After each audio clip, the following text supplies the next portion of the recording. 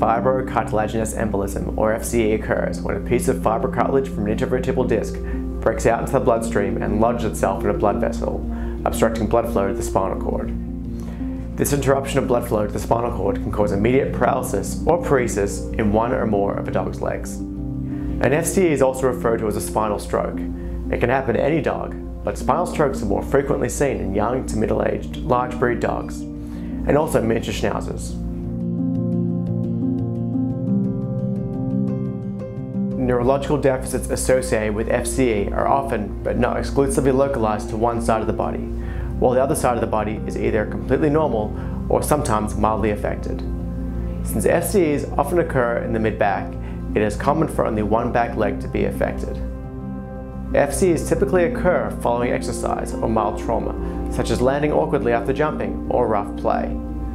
Although dogs might cry out in pain at first, they are not typically painful after the initial vascular insult to the spinal cord.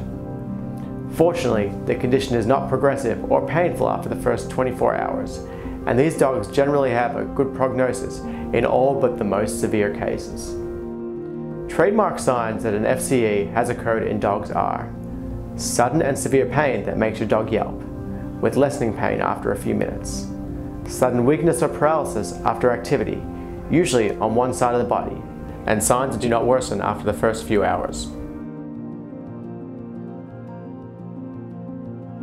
If a dog is no longer in pain, but still can't walk on its back legs, that in and of itself can be indicative of an FCE. However, other common causes of sudden pain and mobility issues need to be ruled out first. If no cause is found during the physical exam, blood work and x-rays, you should visit a veterinary neurologist. Achieving a definitive neurological diagnosis, such as FCE, requires a neurological exam, advanced imaging, and possibly a CSF or a cerebrospinal fluid analysis. By far the best imaging technique for diagnosing an FCE is MRI, because it can distinguish between not only compression of the spinal cord, but swelling, inflammation, and infarction within the spinal cord. MRI can also help give us a prognosis for the return to function, based on the size of the area affected by a spinal stroke. It is critical to achieve an accurate diagnosis because both FCE and spinal cord injuries can have similar clinical signs but have very different treatments.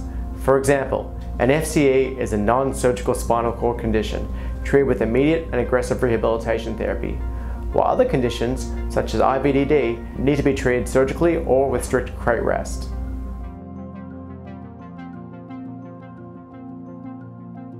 Regaining the ability to walk may take a few weeks to a few months, and recovery may not be 100%. But it is absolutely possible for your dog to recover from an FCE and have an excellent quality of life.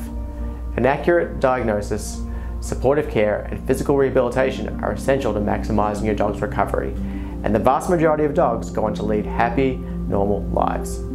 Receiving prompt medical attention is critical Every recovery plan will be different, but early diagnosis and treatment will generally result in a more rapid and complete recovery.